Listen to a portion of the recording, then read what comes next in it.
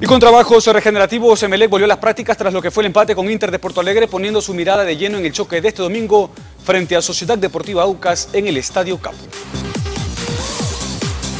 Emelec dejó atrás el empate con Inter de Porto Alegre y con trabajos regenerativos volvió a las prácticas pensando de lleno ahora en su encuentro frente a Aucas por la fecha 8 del campeonato.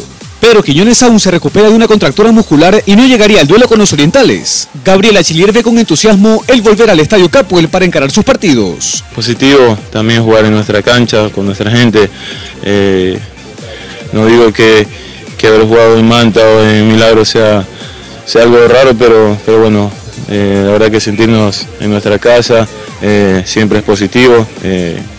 poder demostrar ese, ese buen juego y ese funcionamiento eh, que venimos manteniendo. Además, el zaguero millonario cree que con la llegada de De Felipe podrán mejorar su nivel de juego. La verdad que hay unas ganas eh, muy grandes de, superar lo que ya se, se alcanzó, de, no conformarnos y, creo que, eso habla bien del, cuerpo técnico, de, las ganas de triunfar que tiene. Por otro lado, Chilier destaca los puntos altos del equipo enfrentar.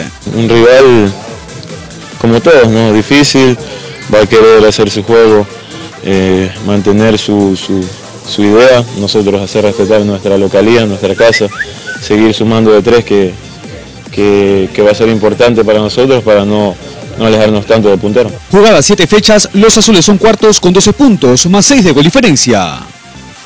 Diego Flores, más deportes.